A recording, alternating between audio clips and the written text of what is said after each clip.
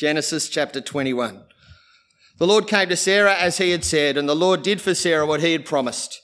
Sarah became pregnant and bore a son to Abraham in his old age at the appointed time God had told him. Abraham named his son, who was born to him, the one Sarah bore to him, Isaac. When his son Isaac was eight days old, Abraham circumcised him as God had commanded him.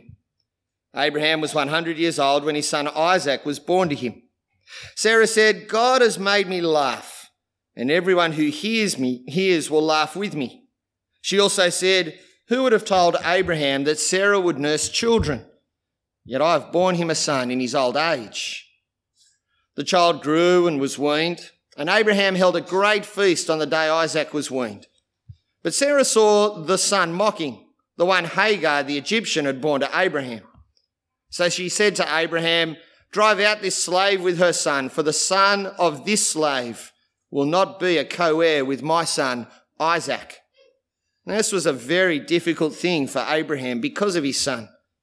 But God said to Abraham, Do not be concerned about the boy and your slave. Whatever Sarah says to you, listen to her, because your offspring will be traced through Isaac. But I will also make a nation of the slave's son, because he is your offspring.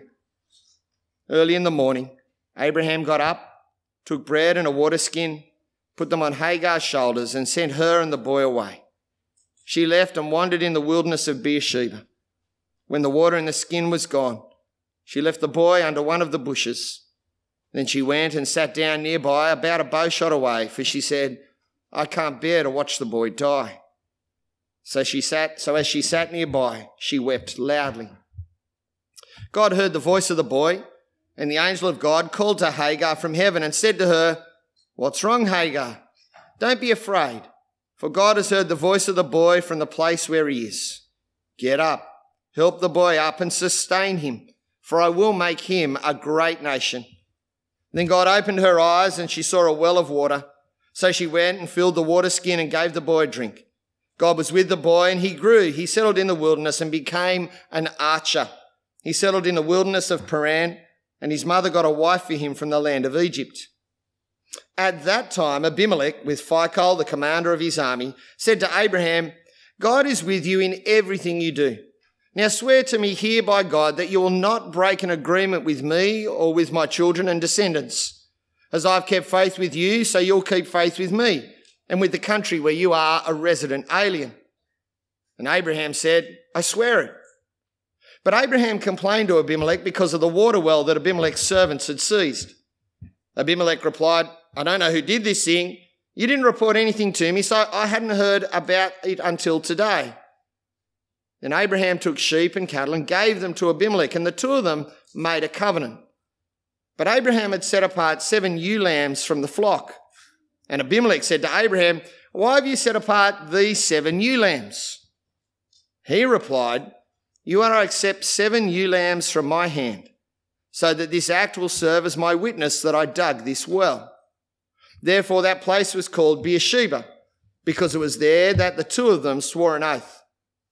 After they had made a covenant at Beersheba, Abimelech and Phicol, the commander of his army, left and returned to the land of the Philistines.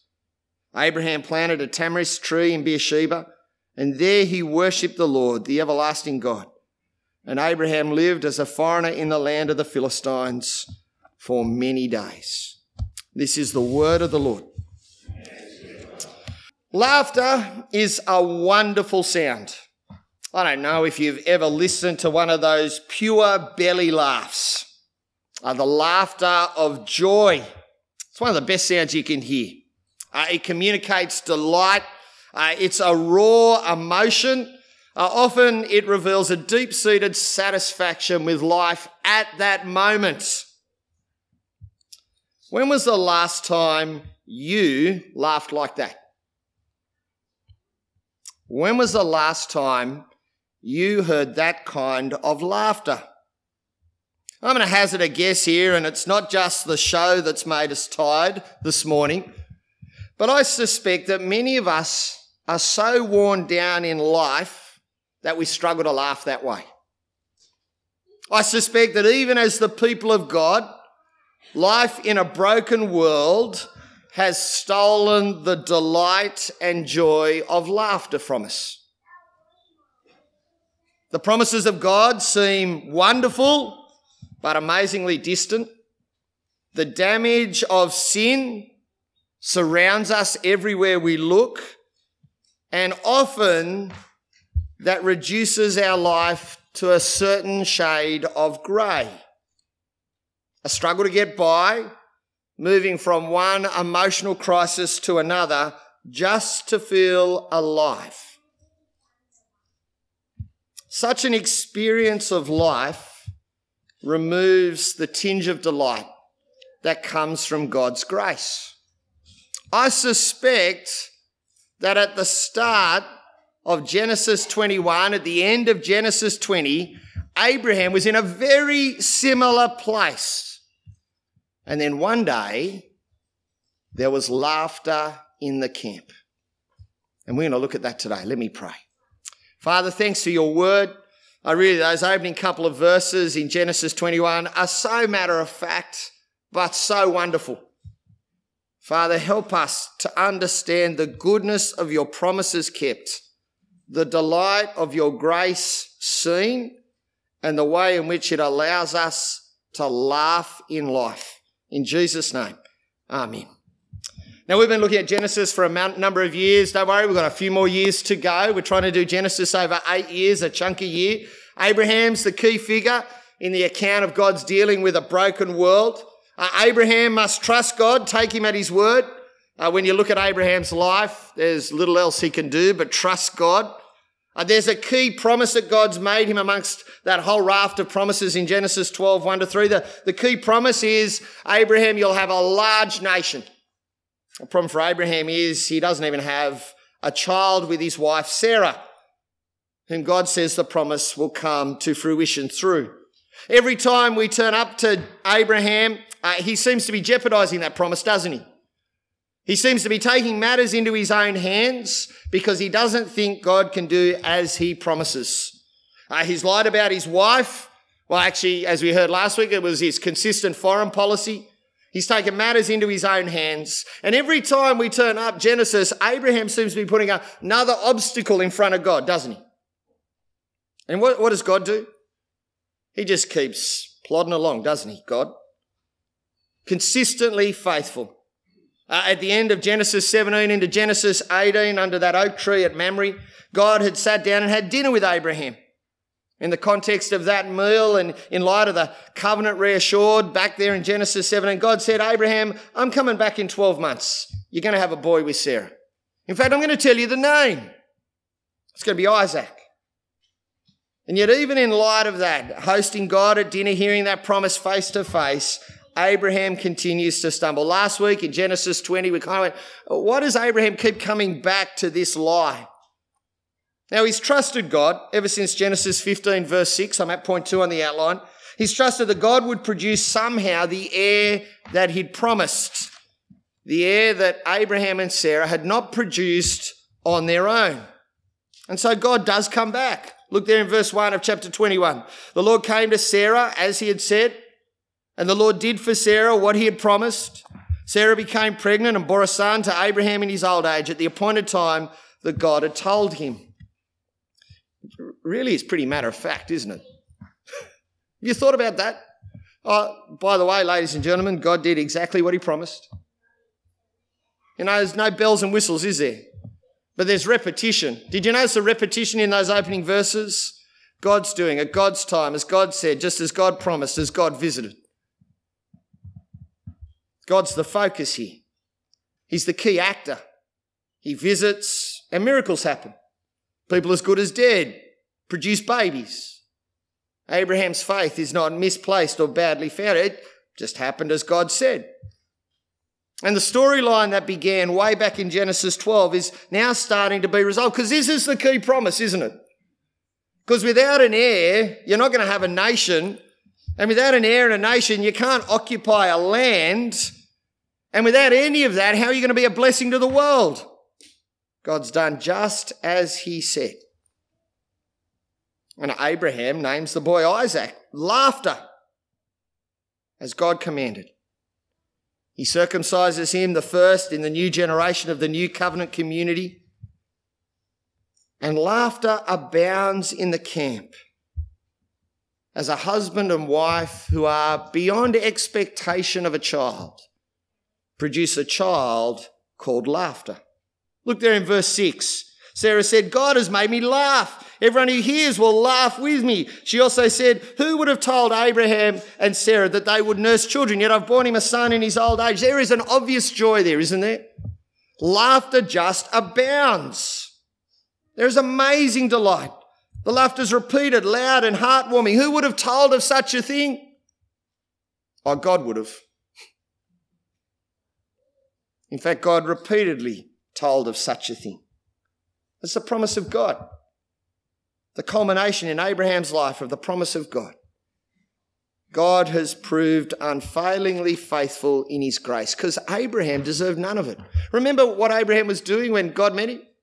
All those recommendations we were reminded of last week a 75 year old idol worshipping man with no children. And God had granted him what he could never achieve of himself. God made a promise. God stayed faithful to that promise. God has fulfilled exactly what he said. And, and what did Abraham do? Received it.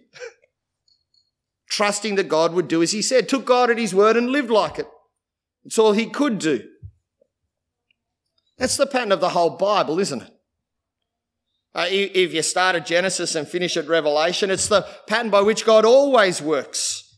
God promises, humans take him at his word, and God delivers. God promises, humans take him at his word, and God delivers. And each time God does that, there is amazing delight.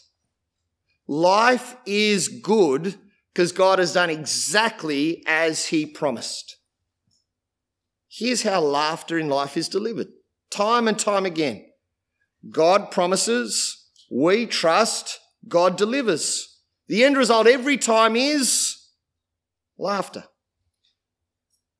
joy, deep delight that God could grant me what I could never hope to earn or deserve. And that's a pattern right throughout the Bible. There's, a, there's another woman who could not conceive. There's an announcement made, a, a name delivered, a promise fulfilled, a great delight, and Mary bursts into song, doesn't she? The Magnificat. How blessed am I that God would promise, I would receive, and God would do. In many ways, it's not that complicated, those opening verses, is it? It's really quite simple. Um, it simply needs to be remembered, doesn't it? God promises, we receive the promise, and God does exactly as He says. But did you notice that there's another type of laughter in this passage? I'm at point three on the outline. There's another type of laughter. Look there in verse 8. The child grew and was weaned, and Abraham held a great feast on the day Isaac was weaned. But Sarah saw the son mocking, laughing, the one Hagar the Egyptian had borne to Abraham. Now, there had been a time when Abraham and Sarah didn't take God at his word. They took matters into their own hands. Remember Genesis 16? God's promise is just taking too long. God needs my help. I'm going to show some initiative here and seize the day. Abraham, would you like to sleep with my slave girl? They slept together, and Hagar conceives, Ishmael's born. Here is the heir. That's not actually what God had promised. It was by their own works, not by his mercy. It was by their own meddling, not by grace. And Ishmael remained in the camp. Isaac's managed to reach three years of age. He's weaned. There is a party. I've never been to a weaning party, but I suspect they're okay. Just the fact that he's reached this age is cause enough for a party. There is laughter in the camp, but there's another type of laughter in the camp, isn't there? The scornful laughter. The laughter of the son, the one Hagar the Egyptian had borne Abraham. I can understand that kind of laughter. Ishmael had dreams and aspirations, didn't he? And now the miracle boy has dashed them all. The promise was to be through Isaac, not the son of Hagar. The promise was to be through the one born of God's grace, not the meddling works of human hands. And Sarah responds to protect her son. There's been a number of years, three to four years, for them to think about this. And I admit she comes across as pretty shrill and harsh, doesn't she? But there's a solid bedrock truth to her words as God implies what does grace have with works? What does mercy have with meddling? Those who inherit God's promise and grace are the products of God's mercy, not because of the works they achieve. The Son. You notice how Ishmael's name's never used in this section? The Son is to be driven out with his mother. And the effects of sin are always hard and painful. Look at verse 11. Now, this was a very difficult thing for Abraham because of his son. Now, Abraham is rightly close to his boy. Abraham has nurtured him. Perhaps Abraham has even still held on to the idea that this boy will be the heir. The bond is close and the parting is emotional. God's intervention is crucial. Again, do you notice God is the key actor here? God speaks there in verse 12. But God said to Abraham, Do not be concerned about the boy and your slave. Whatever Sarah says to you, listen to her, because your offspring will be traced through Isaac. But I'll also make a nation of the slave son, because he is your offspring. There's reassurance there. Sarah's right, Abraham. She's understood what verses 1 to 7 are all about. She's had three to four years to ponder this. The promise of God received by faith, produced by grace, will be through Isaac. But there's a promise for the slave son. He'll become a great nation, just as God promised way back there in Genesis chapter 16. And it's worth pausing at this point to reflect on this other type of laughter. The action of works taking God's promises into our own hands, thinking we can bring them about because we can do a better job than God, that will never work. We've seen it consistently throughout the account of Abraham, haven't we? We've seen it consistently as the pattern throughout the Bible. The result is the slavery of broken dreams and failed attempts, and it will leech delight out of life. Because when I think I am God and God is not, Nothing good comes of that. As we look back at Abraham's life, we're reminded that the promises of God never come by Abraham's meddling, but always by God doing exactly as he promises. And that's the pattern right through to the last descendant of Abraham there in Matthew chapter 1, isn't it? Where the dealing with human sin will come about by God's action. Do you notice that God doesn't remove Ishmael immediately from the camp as soon as he's born? That's actually part of God's judgment on Abraham and Sarah, isn't it? But God still deals in that context. He remains, He intervenes, He acts, and He provides. He doesn't turn His back on Abraham, Sarah, Hagar, and Ishmael. He doesn't whitewash it. Do you notice that? He doesn't whitewash it so that the family history of this great man of the faith looks even better. He leaves it there. But you notice how he does intervene? Even as that bitter laughter rings out, God steps in. He's not absent, is he? He's present. And he's not absent as they walk out into the desert. They're sent out. Uh, that would have been a horrible moment. They're sent out with, with a skin of water. They reach the end of their tether. She despairs. He cries out. Do you notice that God responds to that cry? Did you notice that? Don't be afraid, for God has heard the voice of the boy from the place where he is. And God intervenes. God provides. God gives them what they need and reminds them of the promise. And God fulfills that promise. God does exactly as he said, even amidst the bitter laughter that comes as we take matters into our own hands. Now, I, I, think we know the truth of those two types of laughter, don't we? We know where they are, we've experienced them. But we often miss the significance of what they mean as we just deal with the daily drone of life. We miss those sounds, both the good and the hard, as we just plod through. Sometimes you actually just need to pause and to look at an episode in life to see how that laughter plays out, to see what change it can bring. And we immediately get one of those daily episodes in verse 22. Now we've got to remember that everyday life for Abraham is not really that exciting. He's kicking sheep around. He's looking for pasture. He's got a camp of nearly a thousand to look after. He's negotiating with his neighbours. He's providing food and water for his stock. He's looking out for his significant investments. He's spending considerable time upgrading property and plant, digging wells. That sounds pretty familiar, doesn't it? In a small rural town. Now, the Abraham who started this chapter was what kind of man? Think back to the end of Genesis 20. He was a weak man, wasn't he? He was a humbled man. He was a man who caved in the face of perceived danger. The vibe here isn't great, so I'm going to make a decision. He's a man who worried and fretted, who plotted out his works because he didn't trust that God would actually do as he said. He's a man who lied to Abimelech about his wife and jeopardized a whole nation and the promise of God.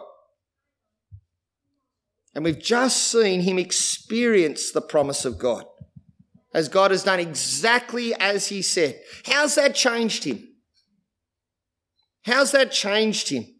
Well, look there in verse 22. At that time, Abimelech, with Phicol, the commander of his army, said to Abraham, God's with you in everything you do. Now, swear to me here by God that you'll not break an agreement with me or with my children and descendants, as I've kept faith with you, so you'll keep faith with me and with the country where you are a resident alien. Abimelech's back on the scene. What better way to assess the change brought about in Abraham than to look at the way he deals with Abimelech. Remember last time? I'm scared of you, Abimelech. The vibe's not great. You don't fear God. I'm going to lie. Well, here's Abimelech again. And not just Abimelech. Do you notice who Abimelech brings with him? Hey, Abraham. And there's this fearsome army commander standing next to him. Abimelech's come prepared because his last dealing with Abraham wasn't so terrific, was it, from his side? So he, he rocks up and now's we've got, now we've got the time to have a diagnostic opportunity. Did the experience of grace change Abraham? Now Abimelech's very clear, isn't he? He knows what's going on. Did you notice that? He knows how to, to read the signs. God's with you, Abraham. I've experienced that. So there's some negotiation here the negotiation of a neighbour and a land and water and food and someone who's rocked up. Abimelech wants a treaty. He wants some security because last time he dealt with this bloke, he didn't have that written in paper, did he? He wants to make sure that Abraham's not going to diddle him again. If God really is with this man, then it's better to be on his side. What's Abraham going to do? Look at verse 24. Abraham said, I swear it. the same Abraham. Last time, Abraham just brought out a lie. This time, he's straight up and down. Decisive statement of willingness. I can make this decision because I know that God always does as he promises. God's with me. His faithful grace has provided for me. His promises are firm. I can act in life trusting that God will always do as he says. Do you notice that he then speaks openly and honestly. Look at verse 25. But Abraham complained to Abimelech because of the water well that Abimelech's servants had seized. Now he's being open and transparent, this man. Truthful. Well, it's a very different man, isn't it, to the last man who dealt with Abimelech? Especially when it comes to such a significant resource as water in this neck of the woods. Abimelech acts like we always know he acts because he's a man who's always been straight up and down.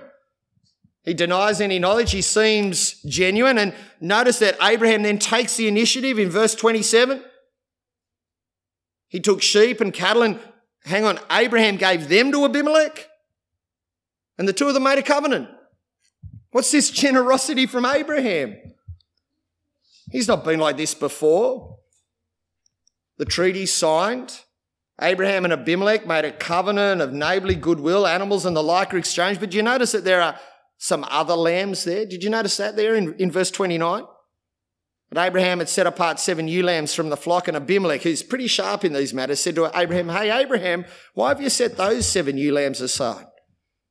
Do you notice how Abraham responds there in verse 30? He replied, You are to accept the seven ewe lambs from my hand, so that this act will serve as my witness that I dug this well. Is it the same Abraham who acts with such generosity and grace and kindness? Seven ewe lambs when you're wandering in a desert as a nomad, that is a big investment. That's your breeding stock. And Abraham gives them to Abimelech. He didn't have to. The treaty's already signed. The covenant's already made. The original deal had been settled, but Abraham's obviously changed, isn't he? He can act with generosity because he knows that God is faithful. It's almost like the laughter of his son, Isaac, is bubbling away behind him. And so in these neighbourly negotiations, Abraham acts with faithfulness, with transparency, with abundant generosity, just as he had received from God. Abraham's delight in what God has given him is manifested in his daily living. And it is good to see. God's faithfulness has changed him. And Abraham acts with that delightful laughter bubbling away in the background. And then he does what's appropriate. You notice that there in verses 33 and 34? Abraham planted a tamarisk tree in Beersheba, and there he worshipped the Lord, the everlasting God. And Abraham lived as a foreigner in the land of the Philistines for many days. The laughter shows the change, shows the remarkable change in Abraham. It shows that the bedrock of his life is not the meddling of his own hands, but the promise of God. It shows that he has experienced and understood God's great generosity to him. And so it bubbles up into his everyday existence. He's a changed man. Well, we can be run down by life, can't we? Run down in a broken world. I'm at the last point on the outline. Let me share with you one of those obscure, random, and really hard to fact check kind of statistics. Uh, Six year olds laugh an average of 300 times a day. Adults laugh maybe 15 to 20 times a day. We get worn down, don't we? The delight of life gets sucked out of us. Abraham's experienced that. But do you notice the change in him? Do you notice the change as he experiences God's faithful grace that has always lurked there and is now fulfilled? And that's the pattern of history. Time and time again, God promises, His promise is steadfast. Humans receive it, trusting Him to deliver as He says. And He does time and time again, right through to the greatest descendant of Abraham, Jesus. A promise, hundreds of years of silence, a birth announced a woman who could not give birth, a perfect life, a name, a perfect death, a resurrection. God's promise received, life brought from death. And that will return joy to life. God will do as he promises. And it will happen in the midst of the amazing and in the midst of the brokenness. God will do as he says. My sins are forgiven because God promised and he has delivered. My room is ready because God has promised and he has delivered. My future is assured because God has promised and he has delivered. My needs are met because God has promised and it has been delivered. And so, with that foundation, we can actually laugh, can't we? The amazing generosity of God to do exactly as He promised.